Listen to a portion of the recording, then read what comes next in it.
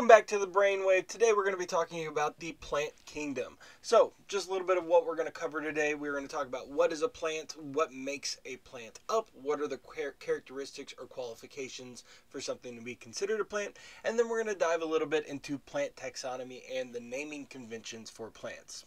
So, first off, what is a plant? A plant is just anything that photosynthesizes or makes its own food. So, plants by definition are photoautotrophs, meaning that they basically collect sunlight and then process that sunlight into energy. So if you look at this diagram on the bottom left, this is a basic example of how photosynthesis works. They interact with the sun, they collect light from the sun, that light then goes through what we call the light reactions, um, producing energy in their chloroplast. That's as much as you need to know right now. Another characteristics of plants is the fact that they are their growth is continuous, um, so they are primarily restricted by their environmental conditions, things like the light, the water, the nutrients, and the temperature around them in the world. Now, plants have been around for a very long time at this point, approximately 400 or 440 million years ago.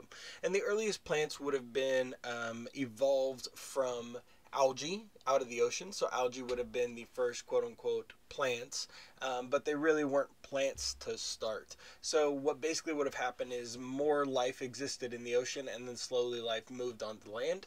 Uh, so the first plants uh, would have been an ancestral green algae. That green algae slowly would have drifted onto the surface of the earth and started to interact with the surface of the earth, leading to the form- formation of the earliest plants, which have been would have been our non-vascular plants like mosses and for- and ferns. And that would have taken place about 400 million years ago.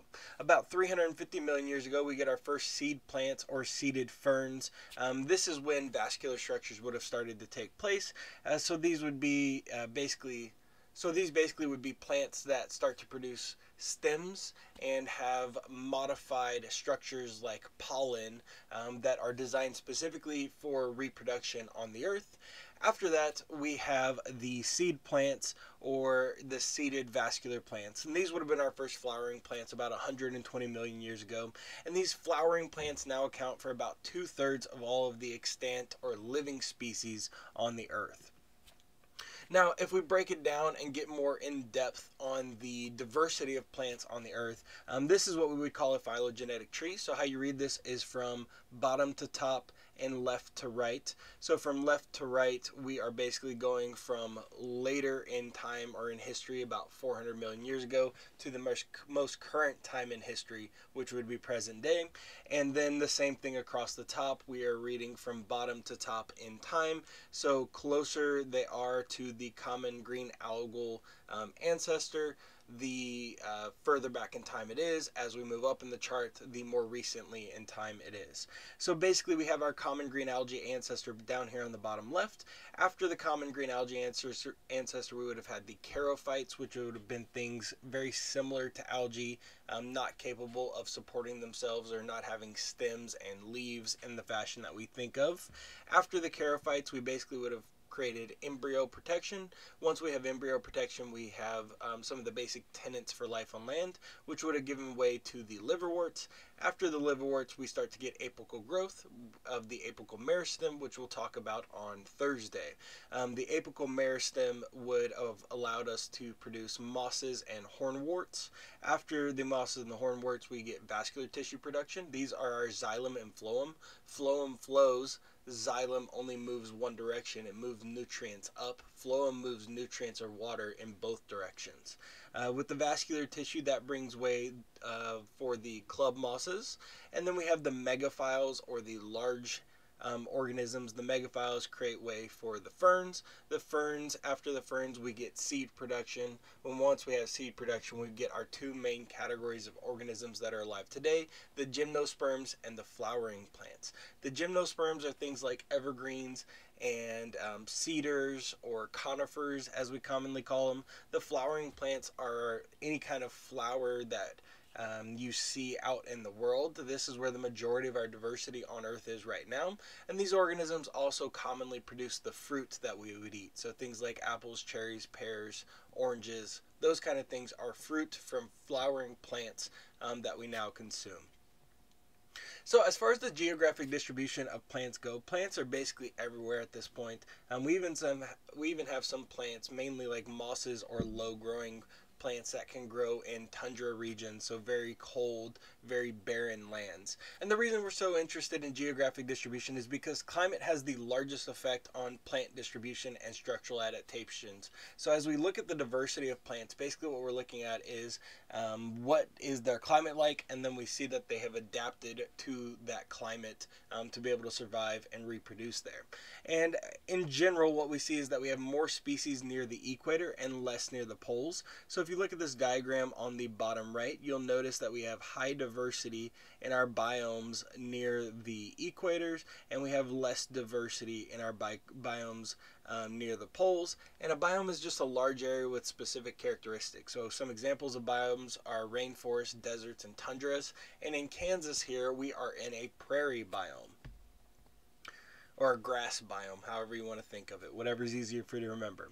Now, this diagram is basically a diagram of plant diversity globally. So, what you'll notice is we have red regions and bright regions. These bright regions are areas of high diversity, so you'll notice those are around the equator um, in South America, in Latin America or Central America, in uh, Central Africa, and then in the islands around um, the Philippines, Papua New Guinea, those kind of areas. You'll notice once we get up near the poles, like we were just talking about, we have low species diversity, but we do still have some diversity um, on both sets of poles, the North and the South Pole. And then the desert is primarily barren land um, when it comes to plants. Now, as far as plants' role in the environment, they play a very crucial part because plants are the basis of our food chain.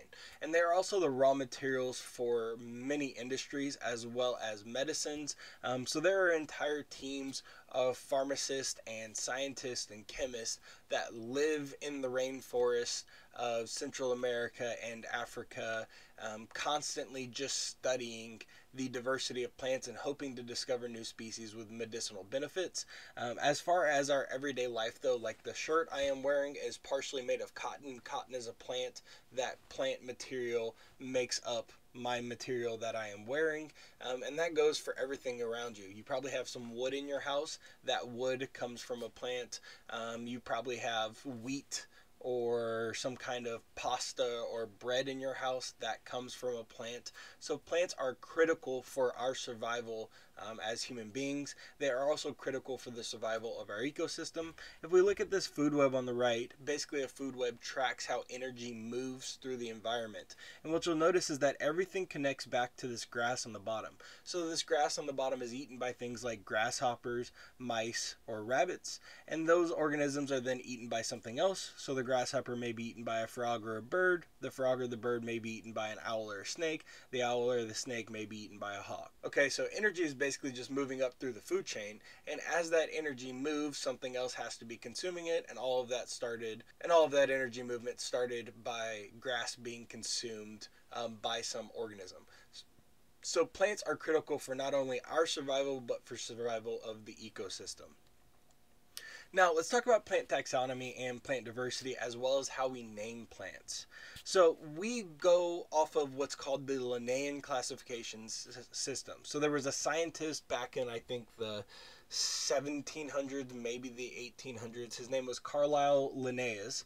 Um, and he basically created this system uh, to name and organize organisms or species. So we have a system to classify, group, and rank organisms into taxonomic groups, and we can split them in many ways. So originally we would have done what's called morphological classifications, where we would have compared this plant to that plant and said, ah, yes, they share, they share this characteristic, so they must go together.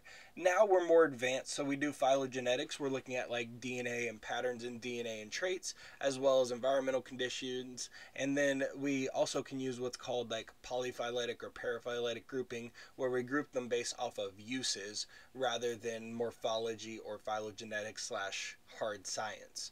Um, so our three primary divisions here are the thallophytes, the embryophytes, and the spermatophytes. Now, in the Linnaean classification system, we have many levels here. We have the domain, uh, which is the highest levels. Things these are things like animals, plants, and fungi. Then we have kingdoms, and the kingdoms fall within a domain. So, like in animals, we would have a kingdom inside of the domain, or many kingdoms within uh, that domain. Within a kingdom, we have a bunch of phyla or phylums. Uh, we have the classes inside of a phylum. We have the orders inside of a class. We have the families inside of the order. We have the genus inside of the family. We have a species inside of the genus. Okay, so basically think of like Russian nesting dolls. We have a big one on the outside, and then we get smaller and smaller and smaller and more specific until we finally get to the tiniest one on the inside, which is our species. So this is the Linnaean classification system. It's been around for a couple hundred years now, and it's still what all scientists everywhere in the world use. Now, as far as how do we name plants, we name them using what's called binomial nomenclature. So, bi means two, like a bicycle has two wheels. Nome means name, so two names, and nomenclature is referring to a naming convention. So, we use two worded names to name scientific organisms or to name organisms scientifically um, in Latin. And so, this binomial nomenclature includes the genus and the species for an organism. So, those are the bottom two levels here the genus and the species. Um, and for plants, the naming of an organism is commonly based on the flowers or the reproductive parts of the plant because the flower is the part that's going to be the least influenced by the environmental conditions. So, like the size of the leaf or the shape of the leaf may be influenced by the environment, but the flower is a hard coated thing, as well as the fruit is typically a hard coated thing that is going to be the same everywhere in the world. Um, and since that that is a and that is our common practice right now because um, flowering plants make up the majority of our diversity globally. So, as an example, let's look at this picture on the bottom right here. So, let's say we have an elephant. An elephant we would just commonly call an elephant, but a scientist in America and a scientist in Africa may not call an elephant the same thing. So, we use a scientific name, which would be Loxodonta africana. Loxodonta is the genus, so it is capitalized and italicized, and africana is the species. Uh, Africana is italicized but lowercase, and that is the convention. So if you can write in italics, you when you write a scientific name, you capitalize the genus and you italicize it, and for the species, you leave it lowercase but you italicize it. If you cannot italicize um, the genus and the species, then you underline both the genus and the species. Now, our first group in our plant taxonomy is the thallophytes. The thallophytes lack true roots, stems, and leaves. They do still photosynthesize, and there's approximately 10 division, divisions of algae that fall into the thallophytes. So these are the things that are closest to our um, green algae ancestors uh, that would have been the first organisms to move from ocean life onto land. Next up is our embryophytes. The embryophytes can be split into two groups, the bryophytes. The bryophytes have no vascular tissue and very simple structures. These would be things more similar to our mosses or common organisms that just grow on rocks. So this image over here on the right are some examples of bryophytes. Um, some of these we can find in Kansas. Other ones you may have to move more west into Colorado and swampy regions like on the edge of mountains and you would find more diversity of them there. For the bryophytes we have multicellular gametophytes and we have no vascular tissue but in some cases we do have specialized tissues for water and nutrient transport. Now for the vascular plants, vascular plants do have true roots as well as stems and leaves. So between the bryophytes and the vascular plants is basically when plants evolved for life on land. So they started to produce specialized structures to help them fight gravity and store water and nutrients as they adapted to life on land. And within our vascular plants, we have a lot of different groups. We have the Psilotophyta, the Lycopodiophyta, the Equisito, the Equisetophyta, the Rhiniophyta, and then three groups make up the majority of our vegetation today. That's the Polypodiophyta, the Pinophyta, and the Magnoliophyta. For those four, first four I said, I do not expect you to know the names or be able to pronounce those. We do have the club mosses and the horsetails here. Um, the other two groups are pretty rare um, from my experience. Now, for the three major groups, the ferns, the gymnosperms, and the angiosperms, I do expect you um, to at least know those names, at least know the names ferns, fern, at least know the names ferns, gymnosperms, and angiosperms. Those we will talk about a lot this semester.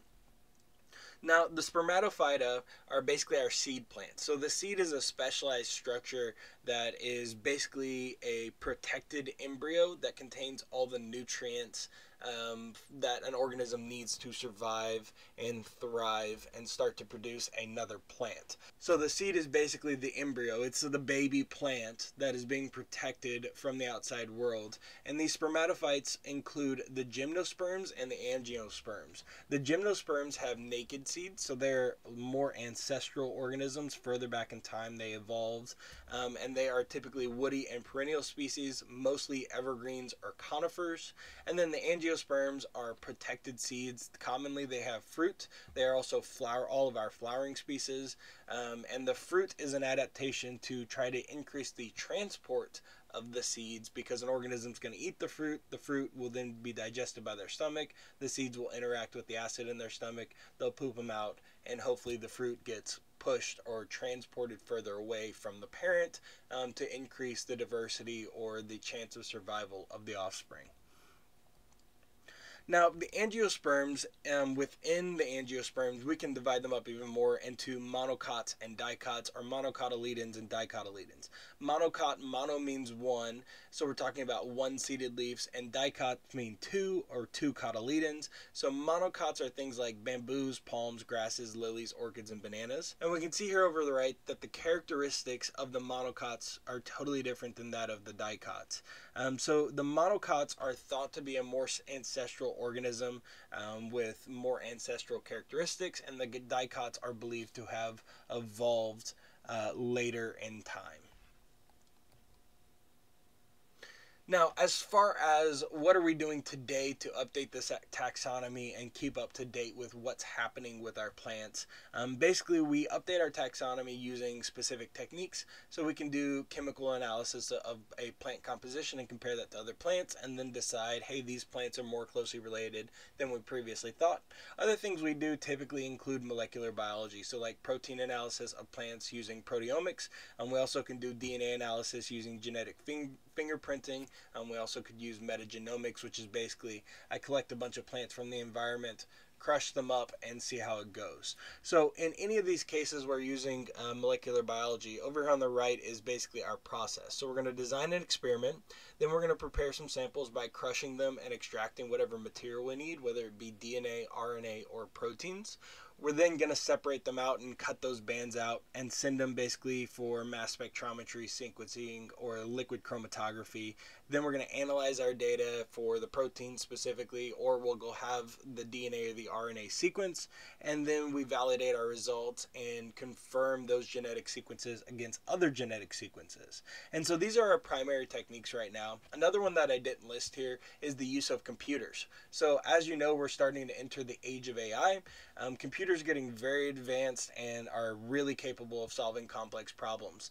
Um, so one thing we can do is pattern recognition with computers. So I can hand it a leaf over here and a leaf over here, and they have very minute differences. But based on the patterns that the computer has been taught by studying the morphology or taxonomy of other organisms, it can tell us, yes, these two leaves are related, or maybe this leaf in my right hand is not as related to the leaf in the left hand, but it's more related to the leaf in my left hand than the leaf I showed it two leaves ago. Okay. Um, now the problem with using computers for these kind of things is that computers still make error. They have to be trained. So the best case scenario would be that we use computers in conjunction or at the same time as molecular biology techniques, and then we have a human expert like a botanist that comes around and confirms the data. And then eventually that computer model would get good enough that we could cut out the molecular biology cost and sadly part of the human cost here. So that is all I had for you guys today. I hope you found this lecture interesting. If you have any suggestions or comments, please feel free to leave a comment below. Uh, thank you for your time, your energy, your effort, and I'll see you next time.